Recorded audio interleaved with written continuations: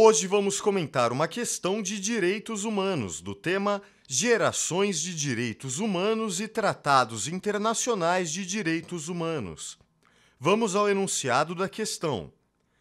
Com relação aos chamados direitos econômicos, sociais e culturais, é correto afirmar que: Alternativa A são direitos humanos de segunda geração, o que significa que não são juridicamente exigíveis, diferentemente do que ocorre com os direitos civis e políticos. Alternativa B são previstos no âmbito do sistema interamericano no texto original da Convenção Americana sobre Direitos Humanos, Pacto de San José da Costa Rica. Alternativa C formam, juntamente com os direitos civis e políticos, um conjunto indivisível de direitos fundamentais, entre os quais não há qualquer relação hierárquica. Alternativa D incluem o direito à participação no processo eleitoral, à educação, à alimentação e à previdência social. Então, você sabe a resposta? Pense um pouco e releia o enunciado se achar necessário. Aguarde 30 segundos. Ou, se você já souber a resposta, clique em uma alternativa e veja o comentário.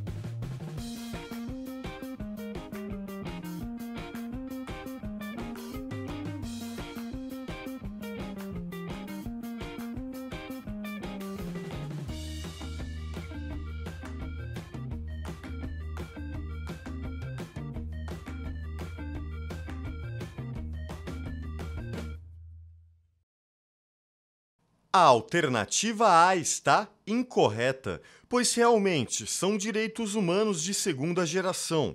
No entanto, são sim exigíveis, como por exemplo por intermédio de uma ação civil pública.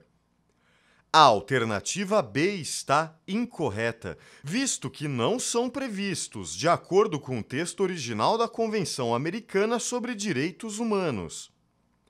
A alternativa D está incorreta, pois não incluem esse direito. A alternativa C está correta, pois o texto dessa alternativa expressa exatamente o conceito de direitos econômicos. Gostou? Não deixe de compartilhar e se inscreva em nosso canal. Até a próxima!